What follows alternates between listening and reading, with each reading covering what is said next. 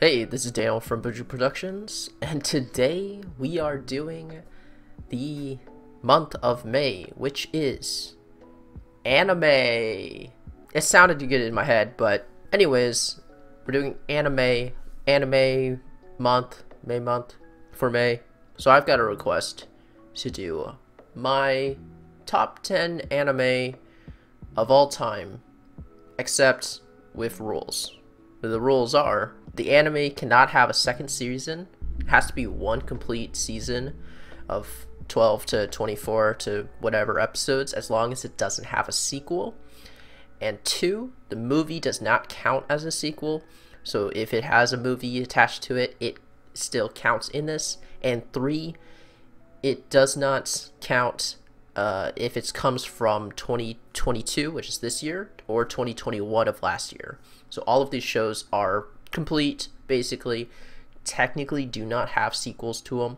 If they have a sequel planned in the future, then I try not to put them in there. If they might have one, but I'm not sure, or they're not guaranteed to have one, then they don't count to this. So we'll have top 10.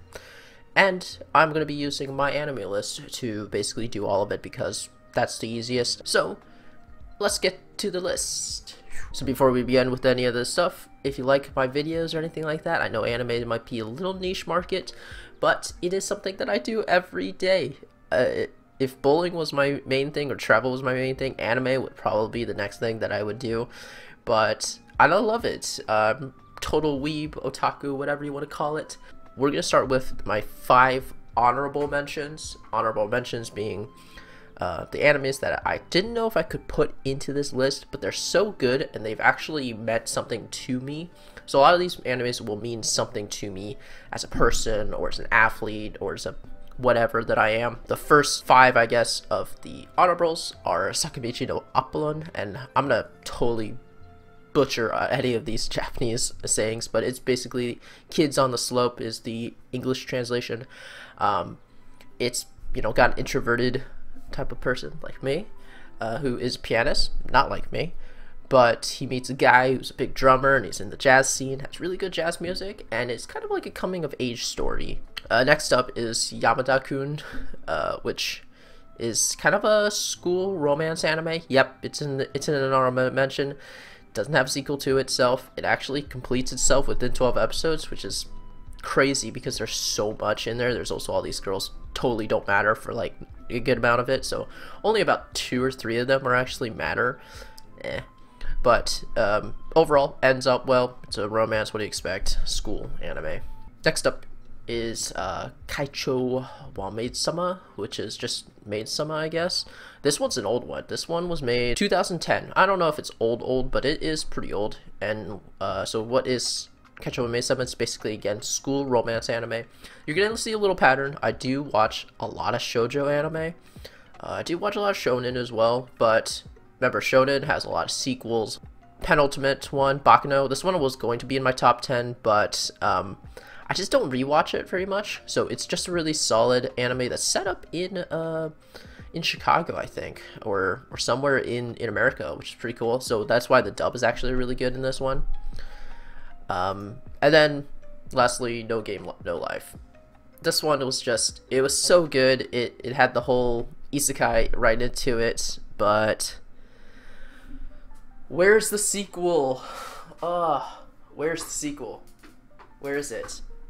come on the movie was not a sequel the, the movie was a prequel to it so i'm still waiting for the sequel a lot of people are waiting for the sequel for this so um, that's why it's it's in my uh, honorable mentions. Number 10. So number 10 is going to be Erased. Boku Boku dake ga inaimachi? Ah, uh, erased basically. 作品から見えてこないんですよ。あなたの顔が。なんか薄い膜で覆われてるみたいだから。藤沼さんって他人に心開かなそうだもん。Uh, this one basically is about a guy. He is just a, you know, he's not a NEET, but he doesn't do much as a as a 29, 30 year old guy and he doesn't have his life set up really and then he has this ability that he can kind of rewind time or see things differently. So he somehow rewinds himself back after some um, events happening, and he goes becomes his like ten year old self or something, or or eight. or something, some young elementary school student basically,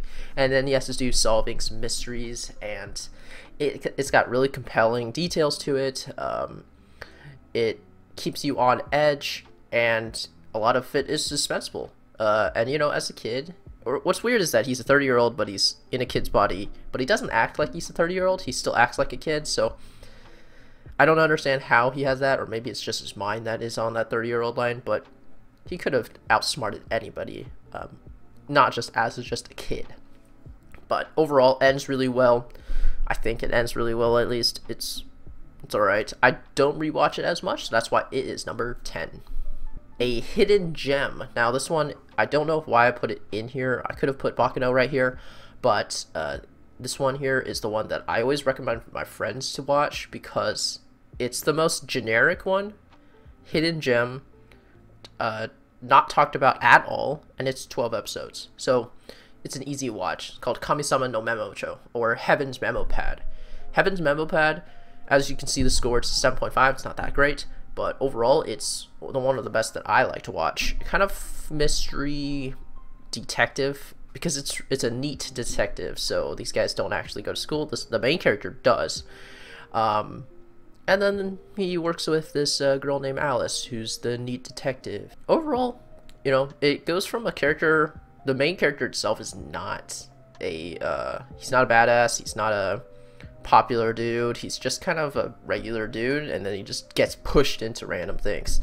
And uh, so he's not like OP or anything. He's just kind of in the background most of the time, but he tries to push himself. And you know that's what you got to do. You you're, you're not gonna be somebody talented. You gotta work hard for it. But this guy's like I don't know what to do. So overall, the anime is a hidden gem to me. Um, that's why it's number nine, but it's not going to be any higher because it's not the best. な人間と押し問答することで一番目はその愚昧な人間が自分の助手であるという事実に Next up is number 8. So number 8 is going to be Nagi no Asakara. Asakara? Asakara? A Lull in the Sea. This one is actually one of the ones that I watched when I first watched anime. It was probably in the top, maybe in the first 10 that I actually watched. So the reason that I really liked this is because of the rewatchability.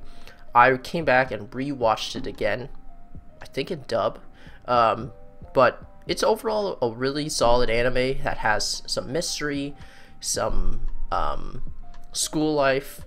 It's got a time skip, which is great. Halfway through the uh, season, there's a time skip, which that's why it's 26 episodes. Uh, because after 14th episode, I think there's a time skip that jumps up for like five years, which is pretty good. I like to see those progressions when they start with kids and then they grow up to be adults. Well, some of them do at least.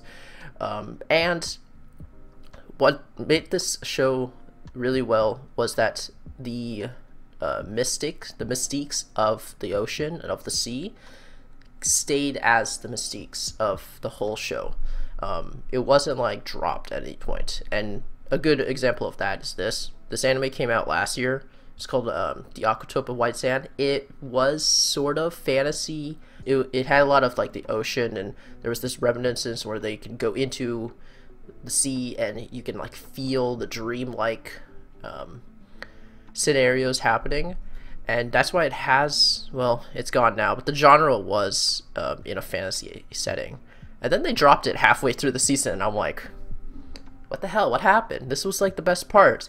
No, it became a slice of life. It became um, a friend, you know, a girl and a girl having friends and enjoying life working at an aquarium. But I went, that's such a letdown. But the difference was that Nagi no Asakara was that they kept going all the way throughout and 26 episodes, finishing it out. A little bit of romance, not too much, which is great. And uh, overall, good um, setting.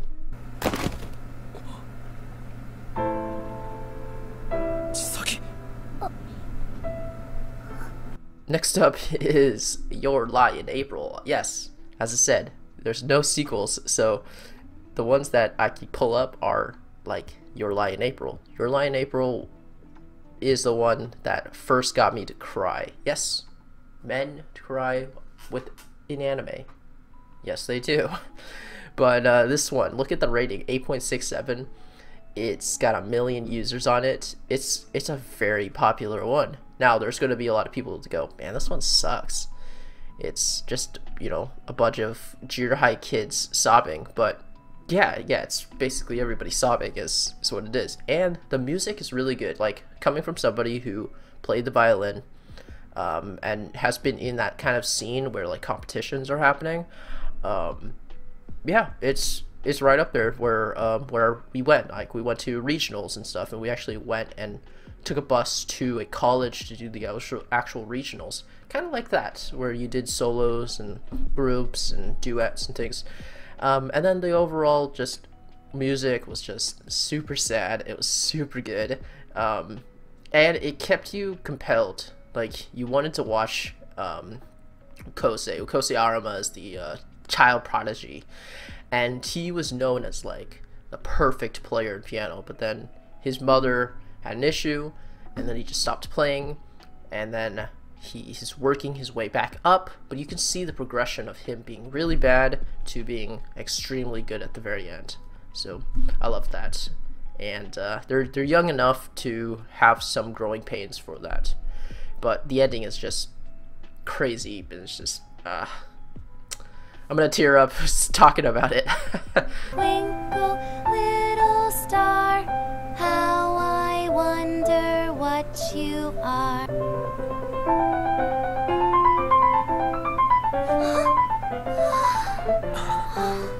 The next one is so sad as well. Anohana. Uh, this was uh, only 11 episodes with an OVA. I think, or, or a movie, but the movie was more of a recap.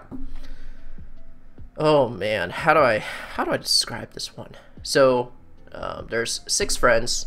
They were all in, you know, they all grew up with each other in elementary, and uh, one of them disappears uh, for some okay she dies basically there, there you go there's the spoiler she died and the five others you know grow up to be go to high school and they all separate basically and then one day she shows up just out of the blue to the uh, main character was his Jinta um, and he sees her and she's like a ghost basically because no one else can see her but him so and he loved her you know in elementary which is super like very adult based, but like man, they were just kids. Um, but they all get back together. They try to figure out you know friendship things, and at the end, of course, they all get back together, and it's just the saddest thing because they all are remembering this girl. Her name's Menma, and uh, the the ending is just this tear fest basically.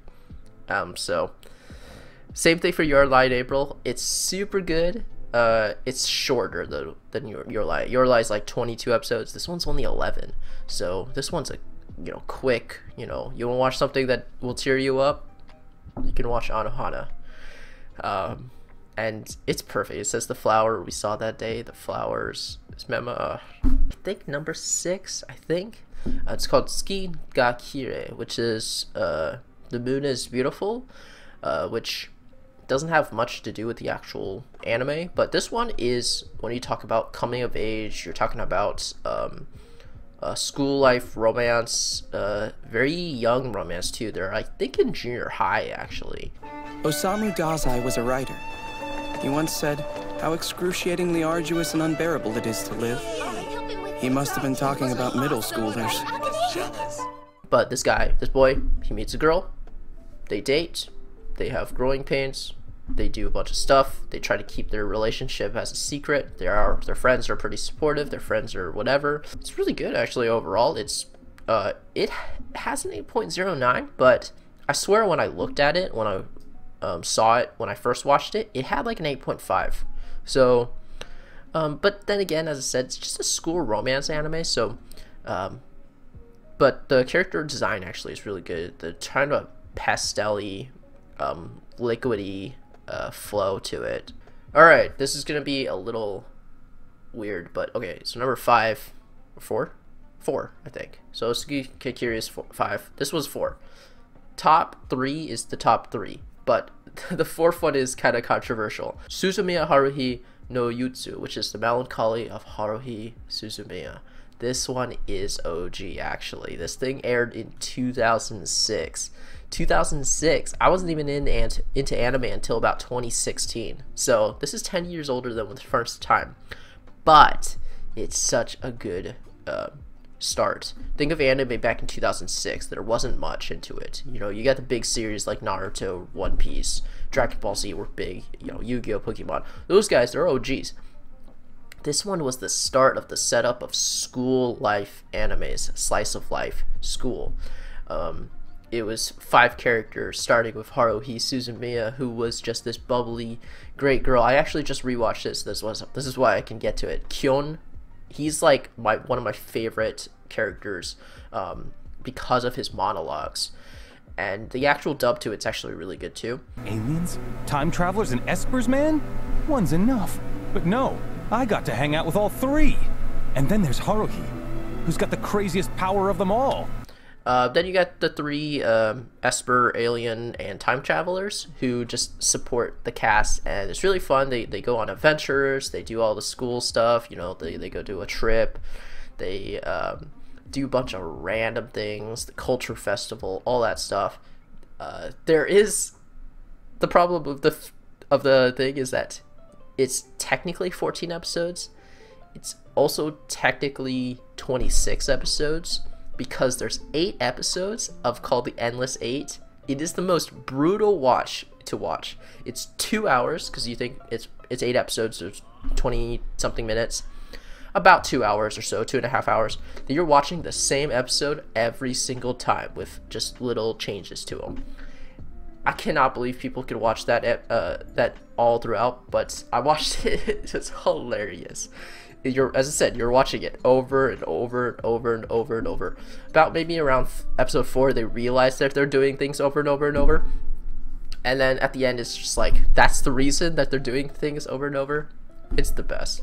Uh, but actually, the main reason I put this up on my top four is because of the movie. The movie itself the disappearance of Haruhi Suzumiya really follows Kyon and his adventures and stuff again. Again, this it's all about Kyon really. Haruhi's the title character, but he's the main character, and he goes through all bunch of crap um, to you know enjoy his life as a high school student, and the the movie itself actually is a um, real treat to watch.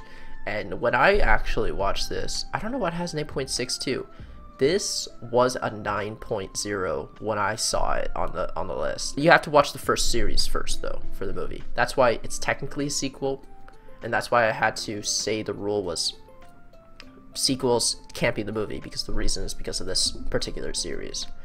So, it's not in my top three. The actual Haruhi Suzumiya anime, as said, the Endless Eight is crazy, but then there are some portions of it, like especially the Culture Festival, that I don't really care about.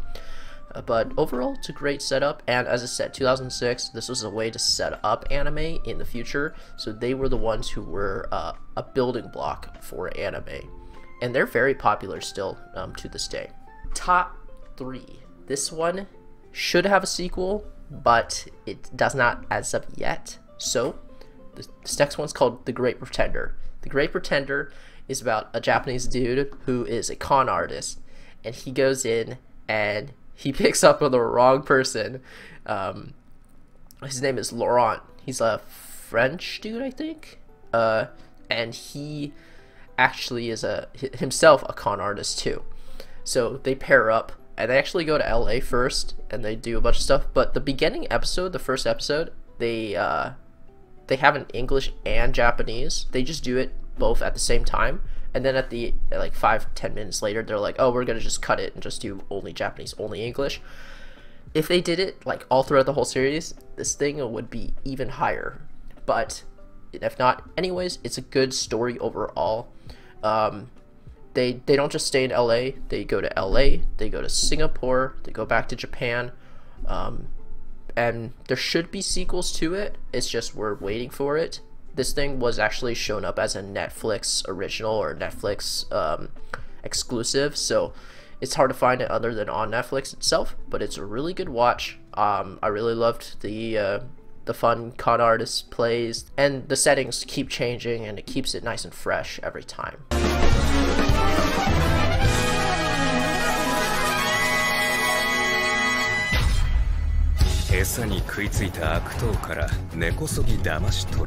餌に食いついた悪党から根こそぎ騙し取る面白いだろえ枝豆 Number two, Full Metal Alchemist Brotherhood, FA FAB or FM FMAB, Full Metal Alchemist Brotherhood. Now this is the one that I said that it's more than 24 episodes. It's 64 episodes. Um, and don't watch regular Full Metal Alchemist unless you really want to. But the Brotherhood is the best series. Um, got a 9.14. Look at that high rating. It's it's really good. Um, there's a lot to ask to talk about this one, but basically they're uh, alchemy brothers, both uh, Elric brothers, Edward and Alphonse. Alphonse is like this metal dude, but he's a he's a kid who can't age, um, and his body was stolen by alchemy something somethings. So uh, Edward's duty is to try to get him back into his body, but it was actually their fault to begin with. Uh, goes throughout a whole series, a whole lot of cast. The cast is great. Um, and it just keeps going. It's a full journey. They go from their home to the city center to a bunch of small villages, um, and then they're just fighting one big end game monster, tyrant, uh, Fury, basically is what it was. Um, set in a very European war raged kind of setting. So overall, very good. Uh, it's just I cannot say anything more than this is the one to watch if you're looking for a longer, uh, longer type of anime. Full Al Full Alchemist Brotherhood is the best.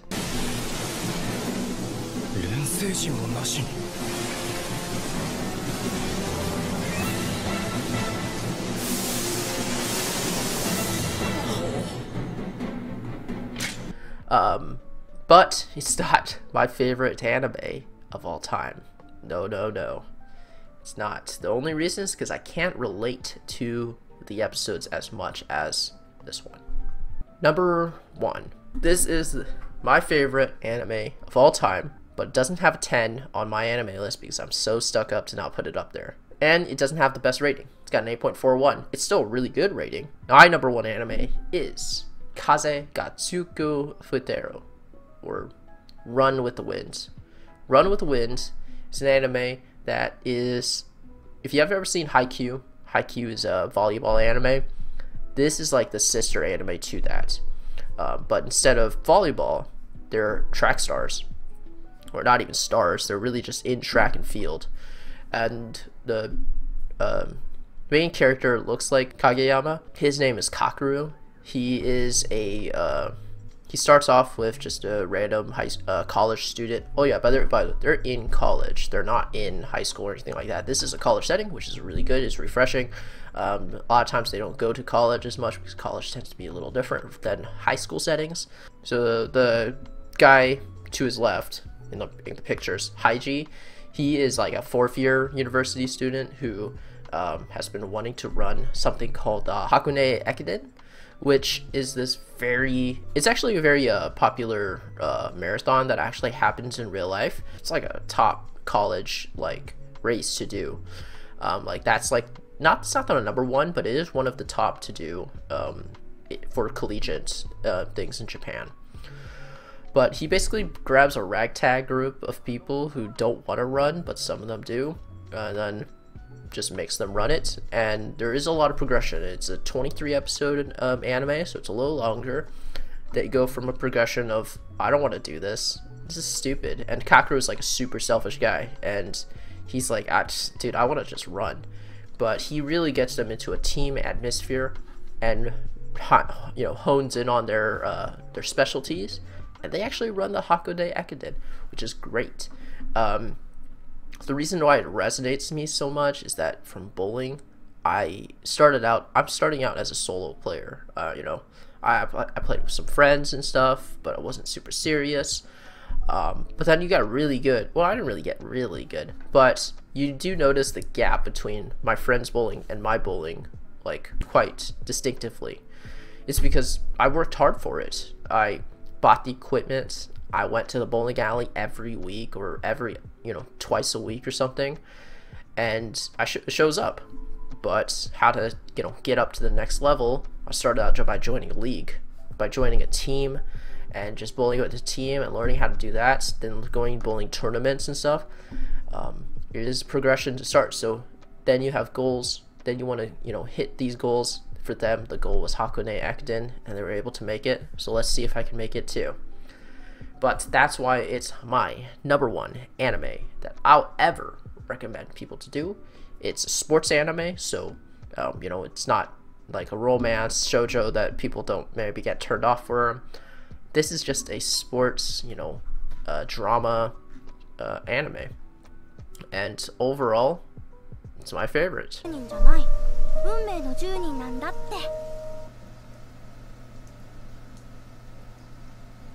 って出ようみんなで箱根駅伝に that was my top 10 anime that I would recommend that is not a sequel based story that doesn't have too many episodes. Uh, that wasn't from this year because if it was from this year, Spy X Family is good. Uh, Dress Up Darling is really good. There's some 2021 animes that I really liked. Um, animes that were like isekai ones, like uh, Mushoku Tensei, Rise, Rising of the Shield Hero. Those guys, they're all sequels, and they're going to have sequels over them. So I can't put those things in my list. Demon Slayer would have been in my list as well. Attack on Titan, those guys, but unfortunately they're not. We'll maybe talk about them later at some other time. But anyways, this is Daniel here at Boujuke Productions uh, with my top 10 anime here. Let me know in the comments if you do agree with that. If you don't agree, of course you don't agree because it's my top 10. So regardless, so we'll go ahead and do that. And I'll see you guys next week.